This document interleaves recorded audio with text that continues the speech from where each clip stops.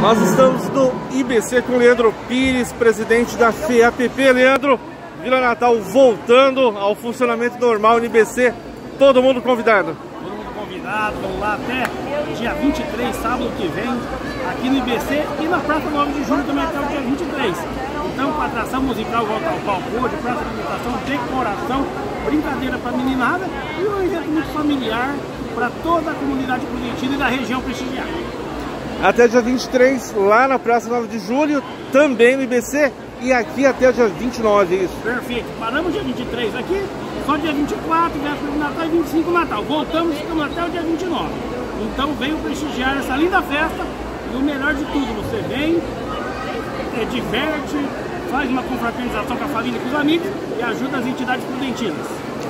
Leandro, lá na Praça 9 de Julho, para quem está circulando pelo centro, né, faz compra de Natal, ajuda as entidades.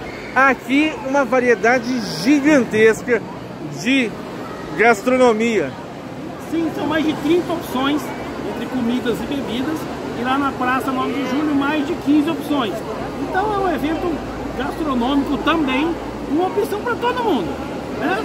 Então é muito legal, divertido, você vem com a família, com os amigos, come, bebe, se diverte e ajuda as entidades.